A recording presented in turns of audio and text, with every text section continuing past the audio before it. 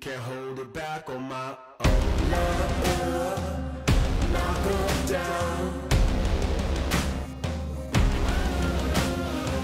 Stand up, shine bright. Does anybody call you Janoris in your life? Nobody call me Janoris. No one. Nah, No, no member of your family calls you Janoris. no. You're Jackrabbit. Jack Rabbit or Rabbit? Jackrabbit or Rabbit. And you asked the Titans to list you on the roster as Jackrabbit Yeah. because that's what everybody calls you. Correct. Explain how you became Jackrabbit Jenkins.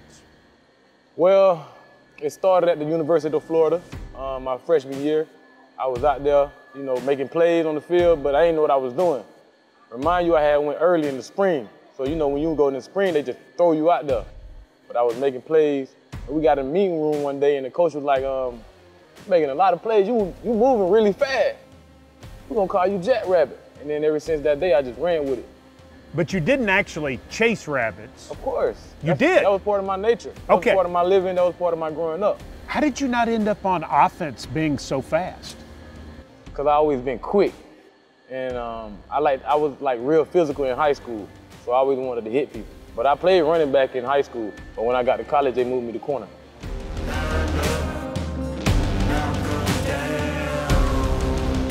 Have you been surprised that you could play this long? Not really. I haven't been surprised. I mean, it's a position that guys, you know, once you hit 30, you start to, but you've just, it's like you've gotten better. Uh, it's all about taking care of your body, understanding the game, mental reps, and just being a pro. feel like I've been doing a great job of that since I've been in the league, and I just got to continue. Dave McGinnis works with us on Titans Radio. He God. loved, he loved, he, he My loves God. Jackrabbit. My guy. He talks about the fact that you've become more of a pro right. as you've gotten older, and that that's what's really allowed you to do it. Where would you say you've become more of a, a pro, and who helped you to become a pro?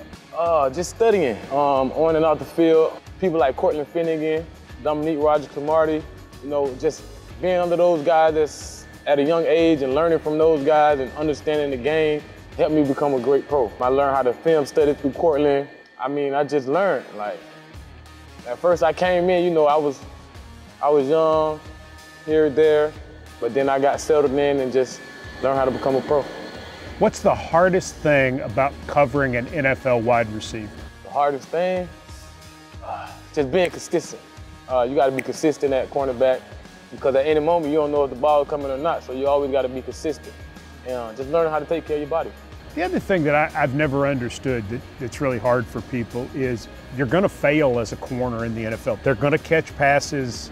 It's going to happen. How do you get over it? And how long did it take you to learn to have that, put it aside after one play and go on? Well, in the NFL, you got to understand, everybody get paid, everybody gonna make plays. At the end of the day, if somebody make a play on you, you just got to brush it off because guess what?